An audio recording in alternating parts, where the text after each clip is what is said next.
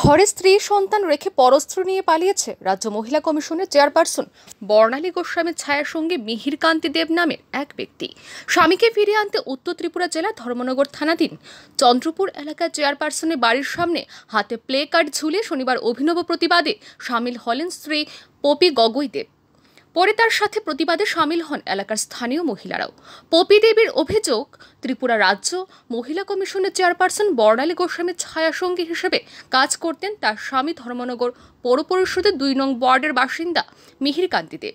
ঘরে স্ত্রী ও দুই ছেলে থাকা সত্ত্বেও প্রায় বছর খানেক ধরে স্থানীয় পৌর পরিষদ এলাকার চুমকি দেবনাথ নামের দুই সন্তানের জননী এক মহিলার সাথে প্রণয় সম্পর্ক গড়ে ওঠে মিহিরের।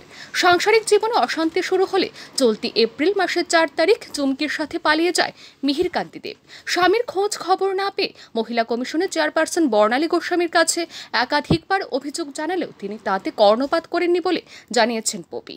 দীর্ঘ বহু বছর ধরে তার স্বামীকে চাকরি ও অন্যান্য সুযোগ সুবিধা দেওয়ার নাম করে প্রলোভন দেখিয়ে ছায়াসঙ্গী করে রেখেছিলেন বর্ণালী গোস্বামী। তার ইশারাতে পরস্ত্রীকে নিয়ে বহিরাজ্যে পালিয়ে গেছে মিহির। তাই নিরুপায় হয়ে স্বামীকে ফিরিয়ে আনতে তার এই প্রতিবাদ বলে জানিয়েছে পপি গগৈতে মানে আমার স্বামীকে যেমনি হোক ফেরত চাই। তোমার স্বামীর নাম? স্বামীর নাম হলো মিহিরকান্তি দেব। কি হয়েছিল ঘটনাটা কি? ঘটনা মানে হয়েছে আপনার কি উনি বিগত পাঁচ ছয় বছর ধরে বর্ণালী গোস্বামীর সঙ্গে কাজ করতে। ঠিক আছে উনি মানে অনেকদিন ধরে মানে ইউজ করতেছেন আমাদেরকে যে আমাকে মানে কিছু একটা চাকরি দেবে বা করে খাওয়ার জন্য কিছু একটা ব্যবস্থা হবে। কারণ আমরা মানে এমনিতে সবল নাই। টাকা পয়সার ব্যাপারে হোক এমনিতে ছেলে মেয়ে নিয়ে অনেক কষ্ট করে বসবাস করতেছি আর কি। তারপরে এখন ওনার সঙ্গে থাকার পরের থেকে মানে উনি আমার ঘরের মানে চরিত্র চরিত্র দিকেও মানে উনি মানে অনেক খারাপ হয়ে গেছে, এটা আমি বুঝতে পেরেছি। আমার সঙ্গে মানে মোটের অমিল হয়েছে, বিগত সাত, আট মাস ধরে। এমনিতে আমার সঙ্গে ঝগড়া করেন না করার জন্য সময়ও পান না। উনি অনেক লেটে বাড়িতে ফিরেন তো ওটার জন্য আমি বলেছি বর্ণালী গোস্বামীকে।